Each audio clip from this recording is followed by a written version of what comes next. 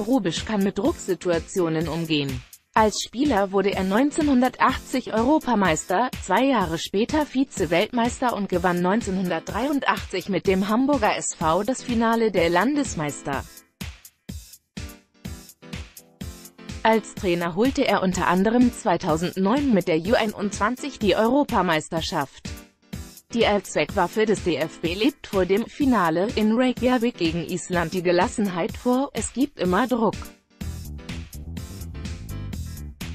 Wenn ich nach Hause komme, kriege ich immer Druck, scherzte Rubisch vor Journalisten. Bei seiner letzten Trainerstation, bevor der 67-Jährige Ende des Jahres in Rente geht, versucht Rubisch die Situation herunterzuspielen. Dabei steht die deutsche Frauenfußballnationalmannschaft vor der größten Krise ihrer Geschichte, knapp ein Jahr nach dem bislang letzten Tiefpunkt, als die Elf unter der damaligen Bundestrainerin Steffi Jones im Viertelfinale der Europameisterschaft in den Niederlanden ausschied. Einen Punkt stehen die DFB-Kickerinnen derzeit in der Qualifikation für die Weltmeisterschaft 2019 in Frankreich hinter den Isländerinnen. Ein Sieg muss her, sonst droht der Gang in die Playoffs. Und die haben es in sich, die vier besten Gruppenzweiten kämpfen dort um ein letztes WM-Ticket. Die Gelassenheit des Bundestrainers scheint seine Spielerinnen anzuspornen. Es ist ein Riesenspiel, ein Entscheidungsmatch, das sich wie ein Finale auswärts anfühlt, freut sich Torhüterin Almut Schuld vor dem Island-Duell. Die Partie wird eine echte Prüfung, und ich blicke Prüfungen immer freudig entgegen, weil wir die Chance haben, sie zu bestehen und gut abzuschneiden. Die DFB-Frauen wollen unbedingt ein Ergebnis wie im Hinspiel vermeiden. Unter der damaligen Bundestrainerin Steffi Jones verlor die Nationalelf in Wiesbaden mit 2 zu 3 gegen Island. Ich gehe davon aus, dass das eine Eintagsfliege war.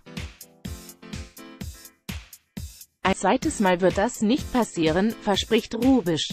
Die Statistik spricht für die Deutschen, die Niederlage im vergangenen Oktober war der erste Punktverlust gegen die Frauen von der Insel aus Feuer und Eis in 14 Spielen.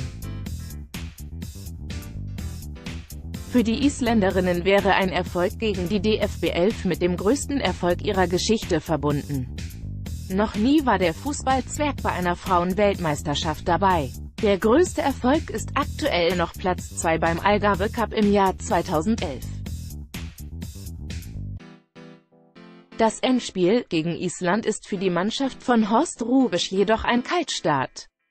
Die Bundesliga startet erst Mitte September. In einem dreitägigen Mini-Trainingslager hat sich das einstige Kopfballungeheuer ein Bild von seinen Spielerinnen gemacht. Wen er am Sonntag auf den Platz stellt, wird sich Rubisch genau überlegt haben, denn geht die WM-Qualifikation in die Verlängerung, verschiebt sich auch sein Ruhestand nach hinten, ansonsten droht Streit mit der Ehefrau. Wenn ich jetzt nicht aufhöre, habe ich ein Problem. Dann lässt sie sich scheiden. Seine Nachfolgerin steht bereits in den Startlöchern, Martina Voss-Tecklenburg übernimmt nach Rubisch. Vorher will sie aber noch die Schweiz zur Weltmeisterschaft führen.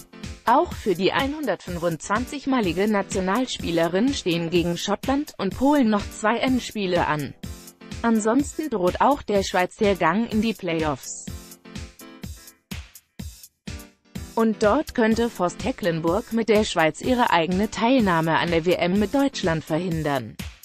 Stand 31. August 2018 8 Uhr